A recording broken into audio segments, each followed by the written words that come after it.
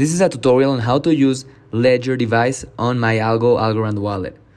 So let's go ahead to ledger.com so to download the Ledger Live app. So in ledger.com to go to downloads, then to download again.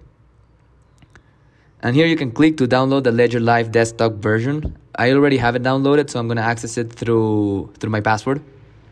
Make sure at this point to have your Ledger device on, connected to your computer and unlocked. So here we're gonna go to the Ledger dashboard.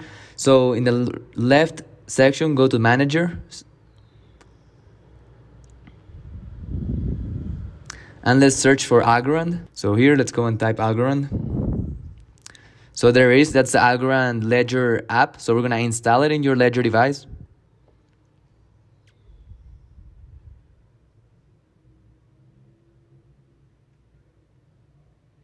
Let's wait while he, it gets installed.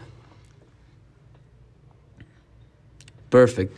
So now we're gonna go to myalgo.com a wallet.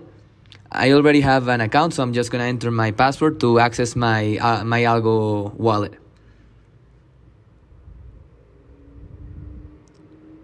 Perfect. So before accessing the hardware wallet button, we need to make sure the device, your Ledger device is connected and make sure you uh, enter the Algorand app. So while we wait for that, le uh, let's wait for it to get detected by the website.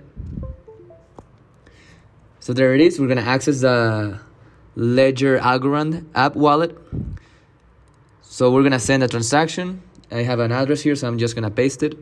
I'm gonna send 10 algos. This is in testnet, by the way.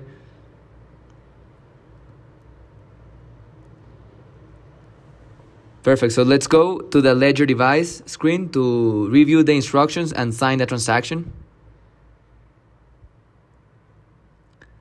So there it is. The transaction has been sent. And that's how you use the Ledger device on MyAlgo Algorand wallet. Thank you.